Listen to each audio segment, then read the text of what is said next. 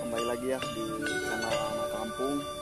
Nah, kali ini saya berada di salah satu wilayah yaitu Desa Sindang Raja, eh, Kecamatan Curugemar, tempatnya ini di desa di Kampung Pasir Muncang Cisuren.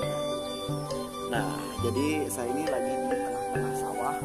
Tuh, seperti kalian lihat di sini, pemandangannya ya luar biasa banget. Nah, sini untuk padinya ada yang udah bentar lagi mau panen, ada yang masih hijau ke atasnya. Pokoknya pemandangannya sih indah banget ya. Apalagi banyak-banyak rumah di pinggir sawah. Seperti itu. Ada rumah. Pokoknya keren banget. Nah, seperti apa sih keindahannya? Yuk ikutin terus di channel ini dan jangan lupa ya untuk di like dan di subscribe dan di share juga biar saya ini semangat bikin kontennya dan terus memberikan uh, informasi ataupun video-video yang menarik buat kalian semua. Oke, yuk ikutin terus di channel ini.